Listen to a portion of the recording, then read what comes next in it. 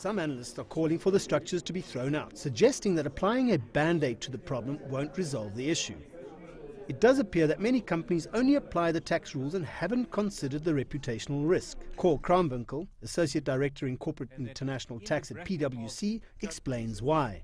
Morality, ethics, desire, wish of the population um, needs to come into play when the policymakers decide what rules do I need to draft in order for me to achieve that objective. The company is only there to apply the rules that they have given and not to make decisions on what may be fair in the eyes of some and unfair in the eyes of others. Karel Gericke, head of corporate tax at MTN in South Africa, says that businesses will enter countries where they have certainty from a legal, commercial and tax perspective.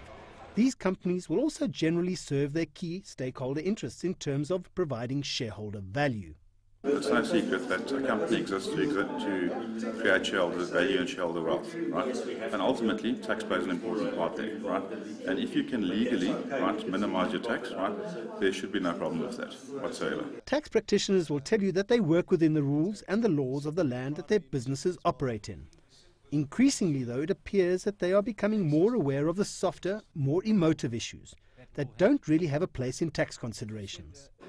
It's a difficult balancing act uh, that uh, any tax director in, an organisation needs to be aware of. Um, yes, uh, we, we, can only operate in terms of what the law is before us, and that's what we need to do. Um, but at the same time, you need to have this broad awareness on the impact for the reputation of the business as a whole and what that might do to the to the value of the brand. So it needs to be taken into consideration, and very often that, that boils down to making sure that the commercial drivers for whatever's been done from a tax perspective, and that the necessary substance to those arrangements is given effect to. The unwelcome light of public attention on several American multinationals and their tax strategies will serve as a warning to their CEO compatriots around the world.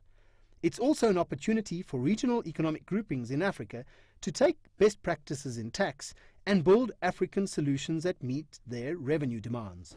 While tax planning might be a boring topic for some of us, corporate CEOs are going to start paying more attention because their stakeholders are going to start applying more pressure and make them more accountable from an ethical and moral perspective.